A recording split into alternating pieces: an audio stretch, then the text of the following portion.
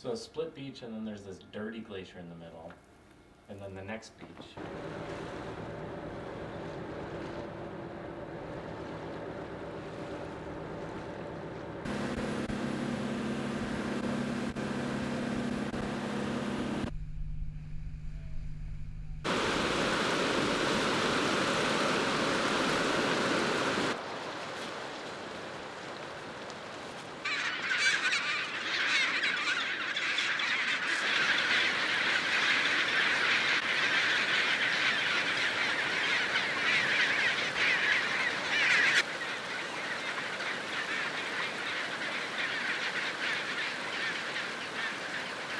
So we're counting penguins, and why do we count penguins? Well, penguins are great bioindicators, and they are they'll tell us what the health of the ocean around Antarctica is because they eat krill, krill eat phytoplankton, so we can tell indirectly what the productivity of the of the oceans around here, how it's responding to environmental change.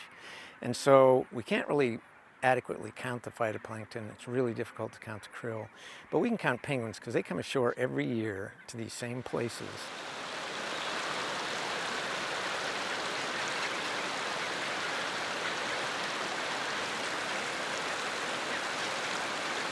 We're seeing chinstrap declines over the last 50, 30, 50 years, and it's been dramatic.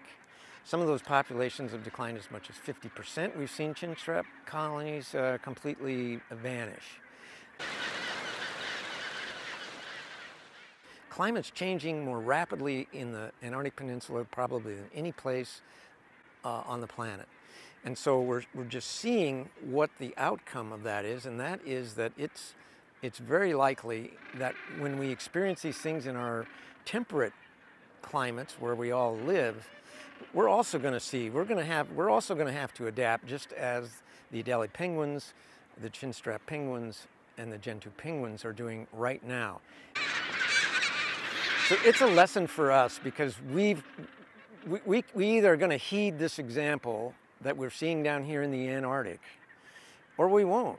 And we'll suffer the consequences just as, unfortunately, the chinstrap and Adelie penguins seem to be doing down here they don't have a chance to adapt. I mean, they don't have a chance to control their environment. They're just, they're stuck with whatever we hand them. But we have the, we have the ability to change, and, and we should take serious measures to do so.